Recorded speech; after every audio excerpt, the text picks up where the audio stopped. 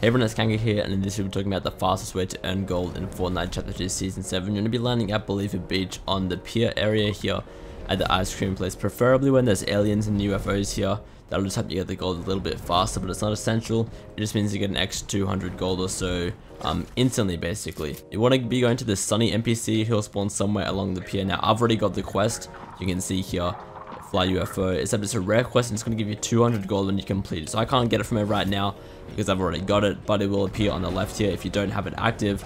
And then all you have to do for that, as I get abducted here, is um you just have to fly a UFO. So to complete that quest, you just have to shoot down a UFO, then hop in it for one second, fly it, and then that'll give you 200 gold, which I'll do in a second here. But before that, I'll show you the rest of the stuff you can do to get a lot of gold here at Believer Beach. You want to come into this building here on the right of the pier, then you can see all these washing machines in here. Make sure you have enough materials to build two things, and if you just put two cones down, and then break them or edit them, whichever is easier for you, you can just pick up all the gold on the floor.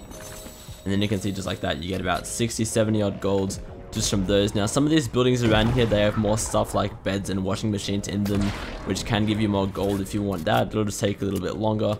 Um, obviously, have to go through each house. And then also stuff like killing people, you can see that I got 8 gold from that. And also chests will get you 8 gold as well. So you can get more if you just take your time a bit go through all the buildings. But if you want to do it quickly, next you want to head over to the caravan park and break all these caravans because they'll give you gold as well. You can see that one before gave me 8. I'm pretty sure they always give you gold. Every time I've broken them at least they give you gold and you can see here everyone so far give me some gold as well.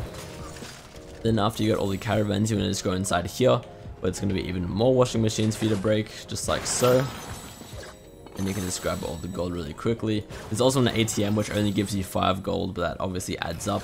And there's also a chest up here for an extra 8 gold, and well, you can just get a chest, so you may as well get it.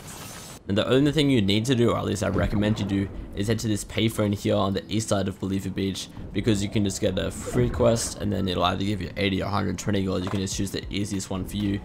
I just go here, reach speed 80 in a vehicle, and then I can just use the sports car right here. Just by boosting in this, I should be able to get to speed 80. Uh, it says 84 there, yep, so that challenge is done, there's 120 gold just like that. And then I'm going to shoot down one of these UFOs so I can get my quest to fly UFOs done. Alright, so I've killed the UFO, then you're going to kill the NPC as well. Then once the UFO is recharged, you just hop straight in.